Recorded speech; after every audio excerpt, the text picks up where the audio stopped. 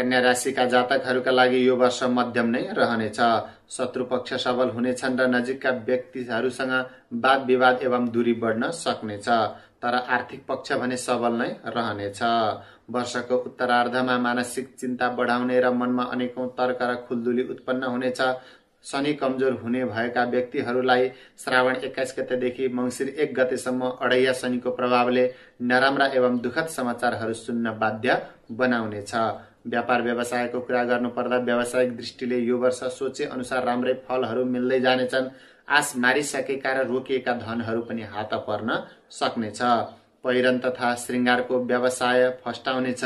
घर जग्गा वित्तीय संस्था र सेयर बजारमा गरेको लगानीबाट लाभ नै हुने देखिन्छ। धातु र खाद्यान्नको कारोबारमा भने मन्दिर आउनेछ। प्रेम सम्बन्धको कुरा गर्नुपर्दा यो वर्षको ग्रह गोचर हेर्दा तपाईँको प्रेम प्रसङ्गका लागि त्यति उपयुक्त देखिँदैन। साथै दाम्पत्य जीवनमा पनि मतभेद सिर्जना हुन सक्छ। तर कार्तिक महिनाबाट प्रेम प्रस्ताव आउने र प्रेमी जोडीहरूको सम्बन्ध सुमधुर हुँदै पारिवारिक समर्थनहरू मिल्न सक्नेछ। शैक्षिक क्षेत्रको कुरा गर्नुपर्दा यो वर्ष अध्ययन अध्यापनको क्षेत्र सामान्य नै रहनेछ। वर्षको पूर्वार्धमा रिजल्ट त्यति राम्रो हुने देखिन्न। तर उत्तरार्धमा भने रिजल्ट राम्रो आउन सक्छ। गणित तथा आइटी विषयका विद्यार्थीहरूलाई अधिक सफलता मिल्नेछ। विदेश गएका विद्यार्थीहरूलाई पनि सामान्य नै रहने देखिन्छ। पेसा एवं रोजगारको कुरा गर्नुपर्दा यो वर्ष आफ्नो कार्य क्षेत्रमा झमेला आए पनि आर्थिक पक्ष भने सुदृढ नै रहने देखिन्छ। मङ्सिर महिनापछि नयाँ कार्य वा रोजगारको अवसर आउनेछ। सरकारी कर्मचारीहरूले सजगता अपनाउनु पर्नेछ।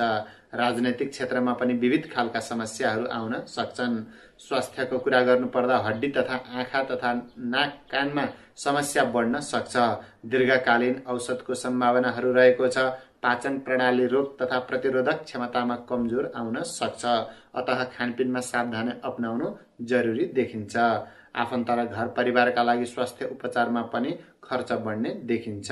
यो वर्षका लागि हरियो गुलाबी रातो र सेतो शुभ रङ रहेको छ। शुभ अङ्कका लागि दुई पाँच छ शुभ अङ्क रहेको छ। ग्रह पीडा कम गर्न हनुमानजीको दर्शन पूजा एवं आराधना गर्नाले राम्रो हुनेछ। शनिबार पिपल वा अन्य वृक्ष रोपण गर्दा भाग्यमा बढोत्तरी हुने र गरेको कार्यबाट सफलताहरू मिल्दै जानेछ।